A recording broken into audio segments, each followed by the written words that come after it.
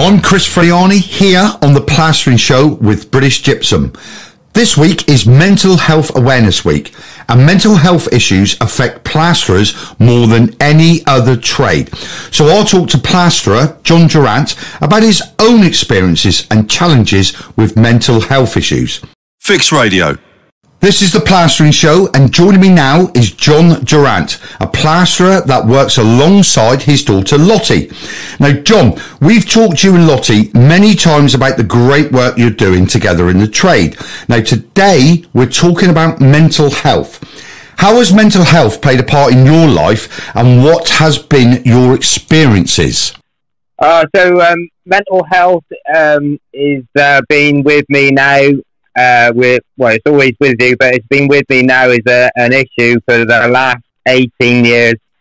Um, I was diagnosed as being bipolar, which some people might know is actually the old term for it was called manic depression, where you could be really high one at one period in your life and really depressed at the other. So I suffer from that. So uh, yeah, that's my that's my side of mental health as I know it, and that's when I started to understand it. Right. Okay. So, how has mental health affected your ability to work in the past? Oh, mental health has absolutely devastated my ability to work in the past. Um, I've had several episodes uh, of manic depression. Um, the latest one, I was um, depressed for 18 months um, just literally sitting on the settee doing nothing, just doing the bare minimum, and uh, yeah, so completely unable to work for eighteen months.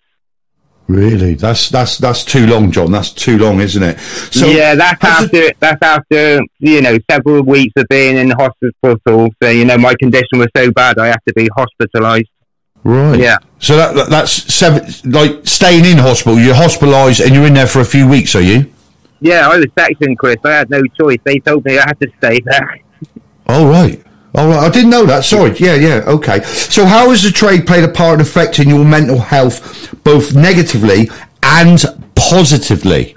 Uh, being in the plastering trade has actually been positive to my mental health because uh, I worked out quite early on, or in a period of time, that actually um, physical work was a lot better for me because physical work, um, you know, naturally tires you out, and um, that's why I do it. Because my, with my mental health condition, what happens is, and my brain goes faster and faster and faster. So if I'm doing um, like more technical administration work, and I've been on a computer all day and answering emails and telephone calls, my brain's still going, and it's uh, it's the lack of sleep that actually um, you know, in, inflames my condition to the point that I need to go into hospital. So that's why I've made a, a conscious choice to do um, uh, physical work. So that that's basically why I, I, I, am a plasterer now. So I'm doing physical work. So what did what did you do when you left school then? Oh, I done all sorts, Chris. I went to university. I, you know, I've done several degrees. I, you know, I've done engineering oh, I've done youth work when the kids were younger, all different things and that. But I, I, I tried, I tried to. Um, what I did was try to um, all the knowledge you get from being a, a plasterer or in the building trade. I amalgamated that all together, and I became a building surveyor. Um, and so that was where I went into an office environment, and um, it was computers, emails, uh, and all the rest of it, and just telephone calls all day long. And that you know, over a period of time, I, I just burnt myself out and to a point where I, you know, I, I was just staring at the computer, not knowing what to do next. Uh, uh, and, and, soon after that, I, I actually, you know, I was admitted into hospital, and um, and then after being discharged from hospital, when they take away your driving license, you know, you're not able to work because of insurance purposes. That's when you sit at home with nothing to do, and, that, and that's when my 18th, 18 months of depression started. So, and then it was a long, long recovery back from that. How long have you been back on the tools then, sort of day to day plastering?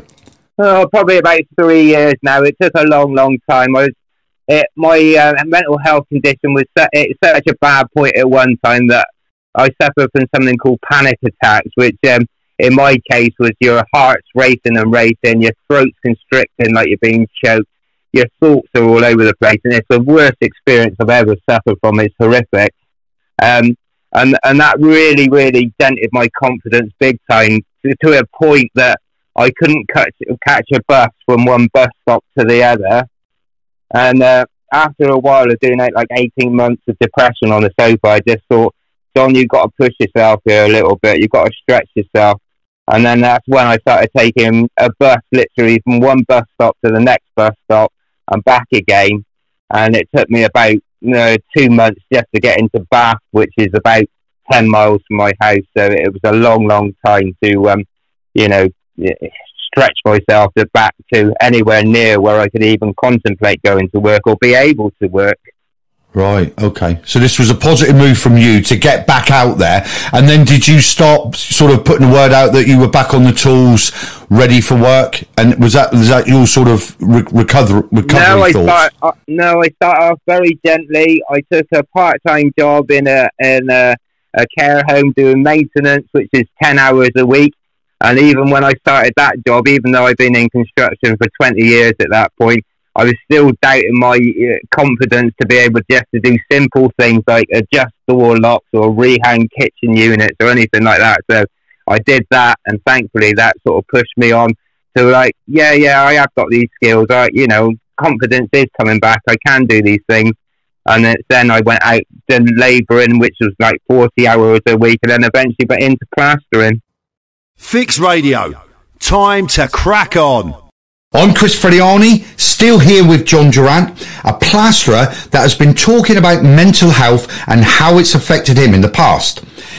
It's Mental Health Awareness Week, and something I've learned is that it's good to talk and be open and honest about mental health.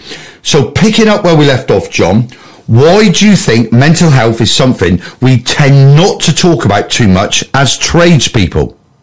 Well, I don't think it's actually a, a, a trade specific thing. I think it's just a, a society thing. I just think is is men that we don't talk about our mental health. Uh, and, you know, we, it, it's seen as a sign of weakness. That, You know, um, that um, if you suffer from a mental health condition, you, you, you keep it to yourself and you don't talk to your mate about it. So I don't think it's a trade specific thing. I think it's actually a society thing that it's seen as a, a sign of weakness if you can't cope or you're, you're getting stressed or you just can't function. So I think it's not a trade thing. I think it's a specifically a social thing. I, I looked up beyond the uh, just before I come on the radio. Um, male suicides account for three quarters of all suicides in the UK, and something like seven thousand men die each year from suicide. So it is something we we definitely got to start talking about, and we got to start talking about it in the same terms as we talk about physical health. If I went into hospital because I had a heart condition, then everybody would say, "Oh, John, I hope you're better. I hope you're better." I went into hospital with a mental health condition, and a lot of people wouldn't talk about it. I made a conscious decision I was going to talk about it because I don't want it to be a taboo. It needs to be something we talk about. Otherwise, we're never ever going to see male suicide rates go down.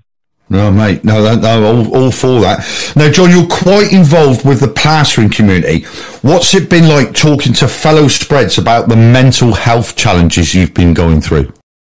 Oh, yeah, yeah. If um, from my side, I already talked about my mental health quite a lot, and like I said, I already made a conscious decision I was going to do that. But I've seen quite a lot of um, uh, um, gents.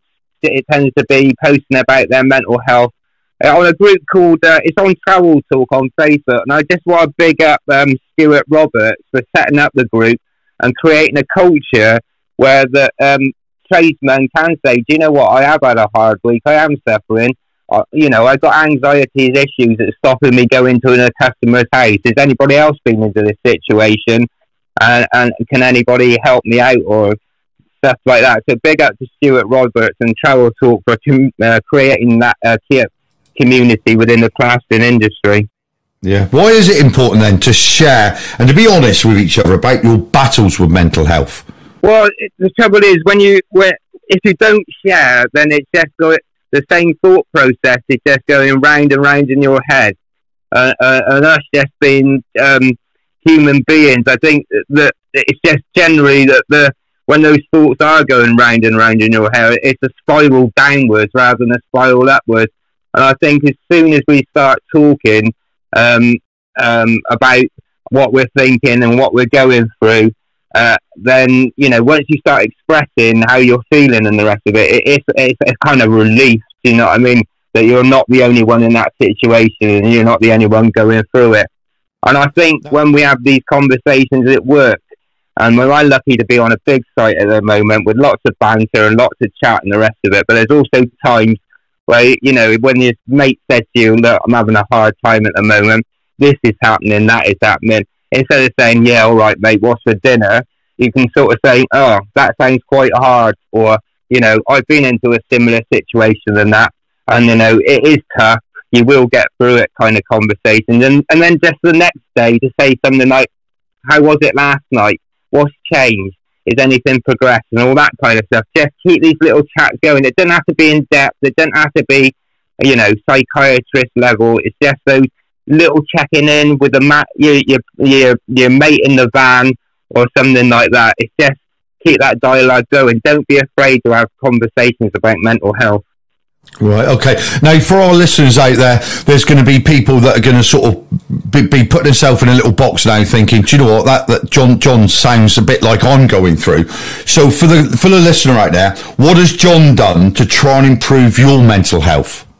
I think the first of all, you just got to, uh, you know, be kind to yourself and realise that you're not always going to be in good um, mental health, uh, uh, uh, and you know, just allow yourself. If you're not feeling hundred percent, then you know, be kind to yourself. We don't all feel hundred percent. Some, you know, some of us, you know, down to ten percent, one percent, and the rest is. Just be kind to yourself.